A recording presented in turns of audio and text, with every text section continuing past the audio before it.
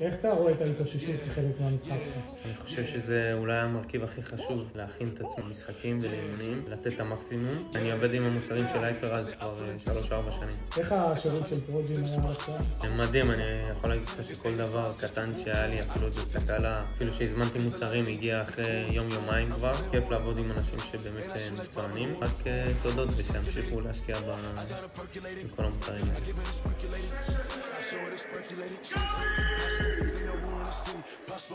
You can